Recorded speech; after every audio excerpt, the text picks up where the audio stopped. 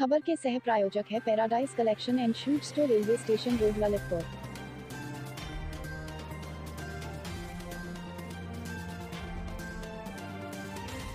इस खबर की सह प्रायोजक Sanskar Valley Academy school, Mahrauni road, Masaura Kala Lalitpur 2022 विधानसभा चुनाव की तिथियाँ घोषित होने एवं प्रमुख राजनीतिक पार्टियों की प्रत्याशियों की घोषणा होते ही चुनावी बिगुल बच चुका है। ऐसे में अटकलों का बाज़ार हुआ एक बार फिर से गर्म। नमस्कार दोस्तों ललितपुर लाइव टी में आपका स्वागत है। आज 31 जनवरी है। यहाँ पर नामांकन प्रतिक्रिया का दौर अनवरत चल रहा है। आज नामांकन करने के लिए सम, बहुजन समाज पार्टी से दो सौ छब्बीस ललितपुर विधानसभा से जो उम्मीदवार हैं गुड्डू राजा चंद्रभूषण सिंह उर्फ़ गुड्डू राजा आज नामांकन कर, करने आए थे। उन्होंने नामांकन कर लिया है और अपने समर्थकों के साथ उन्होंने मजिस्ट्रेट के समक्ष नामांकन किया। आप ललितपुर लाइव टीवी की इन झलकियों में देख सकते हैं और देख सकते हैं कि सुरक्षा व्यवस्था पूरी तरह से चाक चौबंद है।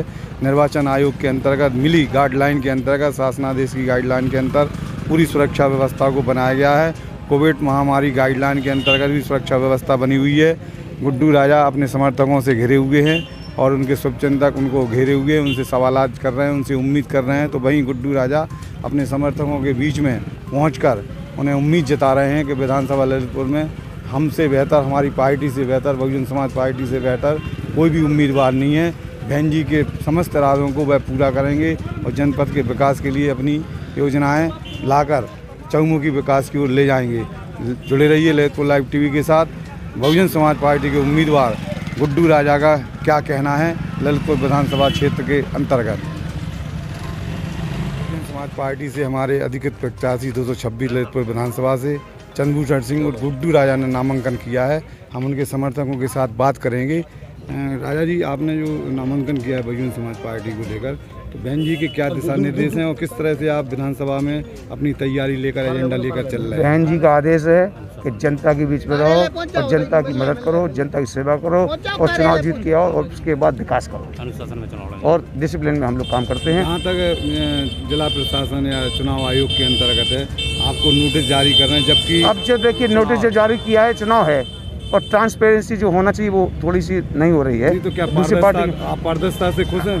अब आने दीजिए समय हम तो अपना जवाब देंगे। अब शुरुआत है। अब तो जो बौखला रहे वो लोग करेंगे काम। वो अपना काम कर रहे हैं हम तो समाज पार्टी से जुड़े हैं और के समर्थन में हैं। जिला पंचायत सदस्य क्या कहेंगे आप? देखिए इस समय जो नोटिस दिया गया है और जो अन्य दलों के जो प्रत्याशी हैं हमारे प्रत्याशी कुंवर गुड्डू राजा साहब के लिए जो उन्होंने शब्द बोले उन्होंने उनके लिए आतंकवादी तक कह डाला। तो इस बात को तो सारा जनपद का सारा बुंदेलखंड जानता है कि हमारे गुड्डू राजा का परिवार गरीबों, मजलू, मजलूमों, किसानों, नौजवानों के लिए हमेशा तत्पर रहता है और सामाजिक, धार्मिक कार्यों में हमेशा रुचि लेता है। कभी किसी गरीब पर अत्याचार करने करने का काम नहीं किया। हम जनता के बीच में पहुँच चुके हैं। हम जनता के घर घर एक एक दलों में प्रत्येक नौजवानों के वो दिन रात हमारे लिए जुट गए हैं और गुड्डू राजा का चुनाव तो हो चुका है। अब ये सब जो बाकी बचे हैं, यहाँ जाओ यहाँ। अब जो जो भारतीय जनता पार्टी के या बसपा सपा के लोग बचे हुए हैं वो उन लोगों का मुकाबला उनमें होता रहेगा। गुड्डू राजा का किसी से कोई मुकाबला नहीं गुड्डू राजा चुनाव जीत के युवा युवा लोगों को क्या संदेश देंगे आप? युवा हम उनके साथ हैं और युवा हमारे साथ हैं। युवाओं के लिए रोज़गार देने काम करेंगे युवाओं के साथ खड़े हैं। नौजवानी ये शक्ति है और जिस ओर जवानी चलती है उस ओर जमाना चलता है। जिस ओर जवानी चलती, उस ओर कारमा चलता है। गुड्डू राजा का ये संदेश है, नारा है और युवाओं के साथ वह हैं और युवा उनके साथ हैं। इस तरह का कारवा लेकर गुड्डू राजा चल रहे हैं चुनावी समर में 2026 ललितपुर विधानसभा में। आने वाला 20 फरवरी का दिन उनके पक्ष में किस तरह से करवट लेता है, राजनीति का ऊँट करवट उनके पक्ष में किस तरह लेता है, देखना है, समय बाकी है। लेकिन अनवरत प्रचार और जनसंपर्क अनवहन जारी है गुड्डू राजा का। बने रहिए, जुड़े रहिए ललितपुर लाइव टीवी के साथ। गाड़ी किधर खड़ी है